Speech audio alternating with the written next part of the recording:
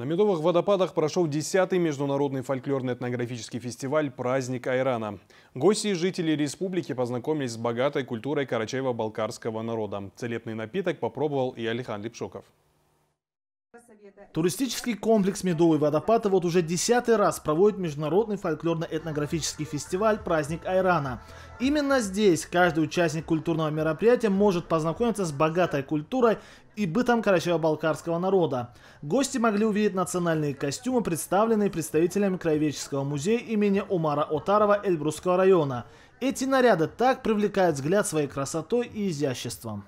Привезли мы в первую очередь совместный э, проект э, э, с участием представителей и карачаевского народа. Это, в частности, Хапчаева Зарема, известный модельер, совместный проект «Реконструкция карачаево-балкарского традиционного костюма на основе фотографий Урузбиевского общества».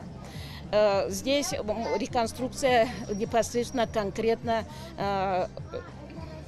одеждой Исмаила, князя Исмаила Урузбиева, его детей Мисерхан и Сафара, э, Сафарали. Поприветствовал всех собравшихся глава администрации Малокарачаевского района Рамазан Байрамуков.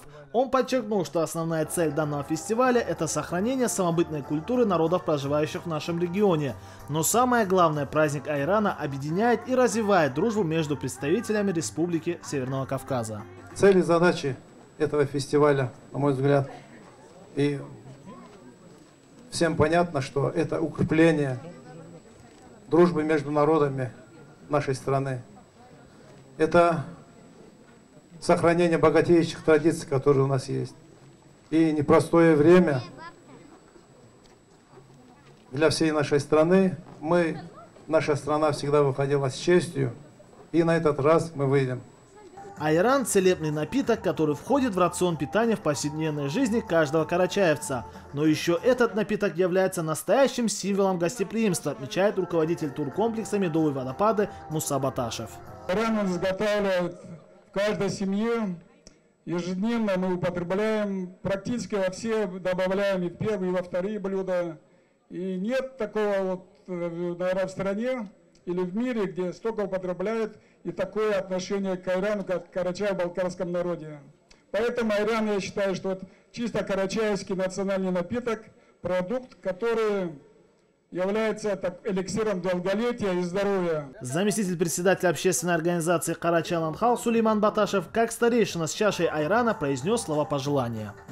Я хочу всех вас поздравить еще раз с этим праздником. Айран напиток очень благородный, очень здоровый, дает только здоровье и укрепляет иммунитет. Каждый желающий мог подойти и испить из 500-литрового чана целебного напитка Айрана.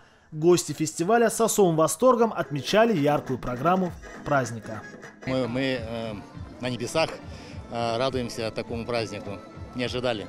Вообще мы уже третий день здесь, и нам нравится, а как здесь э, все устроено.